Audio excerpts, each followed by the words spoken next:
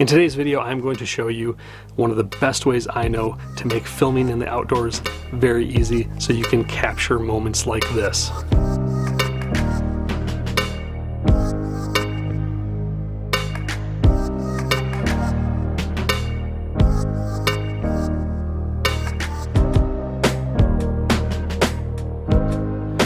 On everybody? My name is Brian, you're watching Angling Anarchy, and on today's video, that is what we're going to do. We're going to take a look at GoPro cameras, and I'm going to try to explain what the looping feature is on the cameras that will make filming in the outdoors, whether you're fishing, hunting, anything for that matter, make it a lot easier to do.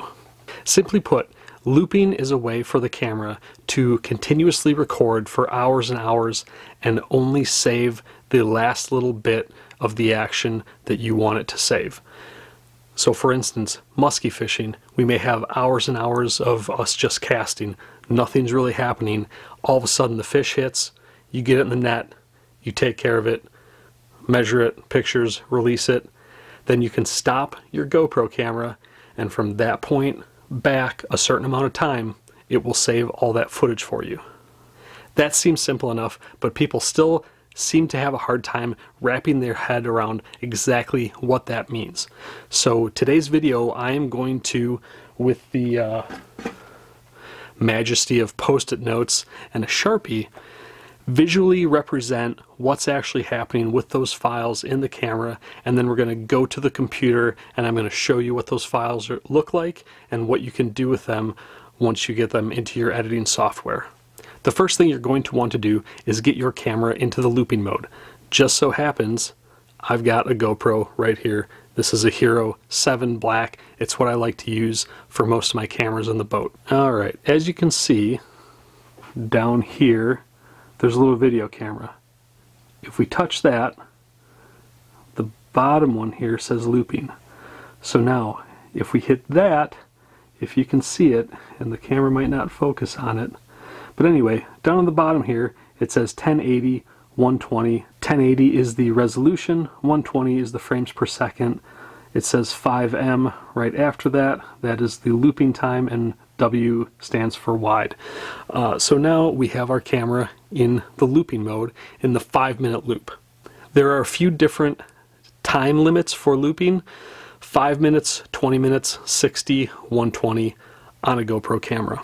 The looping time, the 5, 20, 60 minutes, that is the amount of time the camera is going to save once you stop recording from that point back and that's what we're going to explain to you is how the camera does that and how it saves those files for you.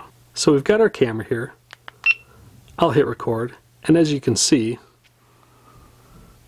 it starts counting up. So the screen on the front is going to be counting up until it hits the five minute mark. When it hits five minutes it's going to stop. Don't freak out, it's still recording. As long as that little red light is flashing, the camera's recording. It just stops at either 5, 20, or 60 minutes, depending on the looping time that you have the camera set for. Alright, the camera has reached the one minute mark, as you can see there. So what's happening is, after that one minute, we have our first file saved in the camera. It's going to save them in these nice little discrete one minute chunks. Alright, we've passed the two minute mark by a little bit. So what the camera has done, there's another file now. Hopefully you can read that. That's me, my terrible handwriting that says casting. So we've got two minutes of casting now. And as this records more, it's just going to keep doing that and creating discrete one minute files in the five minute loop. And that's how the camera's saving them. Alright, we are at the three minute mark, a little bit past it. And again, the camera has saved that last minute in another small file. Skipping ahead, we've reached the five minute mark and you can see the time has stopped counting up. Again, no worries, it's still recording because that little red light is on. But here's what's happened. We've laid down five one minute chunks of video. As soon as the sixth minute gets recorded, that one goes away. And as soon as the seventh minute gets recorded, that one goes away, so on and so forth. So hopefully that makes sense to you about how the camera is constantly recording a one minute chunk and as it gets beyond the six minute mark, even though it's five minutes, and hopefully we can explain why I'm talking about a sixth minute. As soon as it gets to the point where we want to stop the camera, and again, here it is, it's focusing on me, not the camera, it says five minutes. You could fish for two hours and it's going to say five minutes on there again. As long as this is going, you're still recording. But as soon as we stop the camera, what we've got is five full minutes and just for the explanation here, say when we stop the last, or when we hit stop, the last file is 33 seconds. So when you look at your files on the computer, you're going to have, you're always going to have at least five full minutes and then this last one that it saves is going to be anywhere between 1 second and 59 seconds. That way you always have at least 5 minutes. It's not just a 5 minute straight. It's at least 5 minutes of footage that the camera has saved from the point you stop it back in time. Let's run through this as if it was a real situation. We're filming all day. It's been a couple hours. We just have our constant casting, you know, save a minute, get rid of a minute, save a minute, get rid of a minute. So let's say a fish hits. So in this minute that the camera's recording, we get a fish strike. At the end of that minute, we get rid of one minute worth of casting. So the fish strikes, we take care of it, and maybe within the next minute, somewhere in there, net the fish, you're taking care of the fish. When that goes up, we get rid of this one. By this time, we've released the fish, got rid of this, and let's just say for the sake of argument, at 48 seconds into the camera filming the next minute, we hit stop, and this is what we're left with. We've got our five full minutes saved to the camera in six files. The first two minutes are just of us casting. The next one will have the fish strike. The next minute might have netting the fish, taking care of the fish, measuring it, releasing the fish, and then after you've gotten all cleaned up, stopping the camera. For our purposes, I'm talking about using the five minute function on the camera. I find 99% of the time you can get a fish to hit, net it, take it out, take care of it, release it, hit stop on the cameras, and be perfectly fine. In fact, in the boat, I keep the time on the locator so I can look at it. As soon as we get a fish to hit, get it in the net, I look at the time and give myself about three or four minutes to get that fish taken care of because, as you can imagine, if you forget to hit stop, this is going to keep recording on down the line and you're going to start losing these back here. So as soon as you think you have to, hit stop. There are plenty of times where maybe a fish is taking a while in the net to take care of, it's swallowed the bait, you have to cut some hooks. I'll stop the cameras because then you know everything is saved. You can start them right back up and say you're using the looping function and you're you're asking, well, what if I hit it before five minutes? No problem. It's just going to record in these little one minute chunks. When you hit stop, that's what it will have saved. I hope this is making sense, folks. If it's if it's not, leave some questions in the comments section below and I will be more than happy to answer them. So now what we're going to do is get into the computer and take a look at what these files are actually going to look like for you. Alright, so I've got a folder here that I'm going to open up and here are our one minute files. These MP4 files are the ones that we want to keep. These THM files, or the thumbnail files, there are also ones called, let's scroll down, these LRV files. Those are low resolution files, and those are the files that in the GoPro app, that's how you can preview the files while your chip is still in the camera. But at this point, It's in the computer. We don't need all those files. So what I'm going to do is hit type. So that blocks everything together. So now we can easily go through here and highlight all those and get rid of them. And then we've got all of our thumbnail files down here. Again, we can go down and get rid of them so that all we have left are our MP4 files. Those were files that I just recorded previously and I just wanted to show you the extra files and that you really don't need them. All you want to keep are those MP4 files. So let's go in and take a look at some actual fishing footage and what I have kept on here.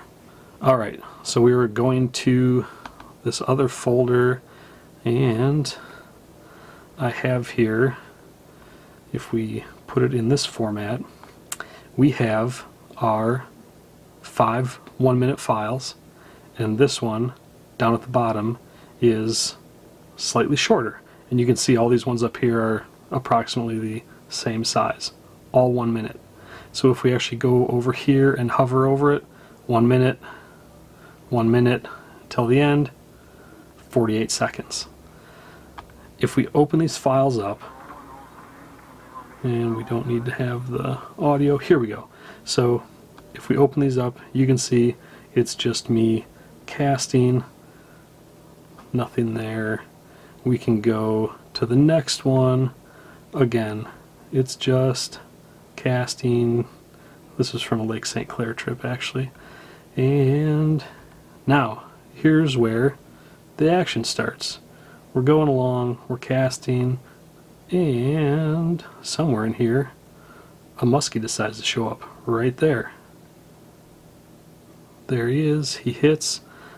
Okay so this is where things start happening. This is where I start thinking I've got three or four minutes to get this fish taken care of before I have to stop the camera so I don't lose anything. So let's finish this up. We get to the end of that. Captain Mark is about to net the fish. We have a little problem with the net, but we've got the fish in the net. Everything's going good. Let's buzz through this. Now usually we would have this fish out of here by now, but the problem I was having is the hooks were really far down in the fish's mouth. You can see I'm kind of struggling with it here and still don't have the fish taken care of like I would like to have done. We finally get to our last file here and we finally get this poor fish unhooked back in the net and at this point I think I've probably used up enough of my time and as you can see it stops at 48 seconds down here. That was a perfect case of stopping the cameras before you get everything taken care of. I have hundreds of examples of us catching the fish, capturing it in the net, measuring it, take a picture, release it, stop the cameras, everything's good. For me, five minutes works really nice because I like dealing with those one minute chunks once I get them into the editing software I'm using. If you're not as confident that you can get that taken care of in that amount of time, there is a 20 minute looping function on the GoPro and that will save your video in four five minute chunks and then the last one is going to do the same thing. It's going to be somewhere between one second, four minutes, 59 seconds. The 60 minute does the same thing, five minute chunks, but now you have 12 of them and then your last one is somewhere between one second and four minutes, 59 seconds. When you go to edit these and you put those files in your editing timeline, they sync up perfectly and I'll show you that really quickly. We'll go back in here. I like using Cyberlink Power Director. We'll get this sucker opened up here and pull a couple of files in just so you can see. I'm going to get rid of all this stuff that's in there. Go down to, let's see, I want to open up this folder just so I can show you what's going on. Alright, let's grab these two files, pull it into the editing software, and highlight both of them, get them down into, oops, that one, get them into the timeline. So even though they are two distinct files, when we put them together, I'll show you here, as the little cursor is running through the timeline, it hits that break. There's no break in the action. I hope that makes sense to everybody. I've found looping to be a very powerful tool when I am doing musky videos because as I said there's a lot of times when nothing is happening and you don't want to film hours and hours of nothing and you're going to fill up SD cards you're going to need to buy extra SD cards I typically only run a 32 or 64 gig card that will last me all day even if I have a lot of things happening it's only saving those anywhere from five to six minute chunks of video and you don't have to worry about swapping out SD cards. If you fill up an SD card in the course of a day, you must be catching a lot of fish. So it's a good problem to have, I guess. This also ties into another subject that I've covered previously, and that is keeping the cameras running continuously all day long. Um, I'll put a little tag up top here and leave a link in the description down below about how you can power your GoPros all day long so you're not swapping out batteries. Between those two things, keeping your GoPro running constantly and the looping function, you're never having to swap out SD cards during the day. You're not having to swap out batteries. It makes filming a lot easier. It makes it a lot more enjoyable because it's not taking away from your fishing. All right, everybody, I hope this video was helpful to you. Again, if you have questions, leave them in the comments below be more than happy to answer them for you. And with that, I appreciate every single one of you watching, and I'll see you on the next video.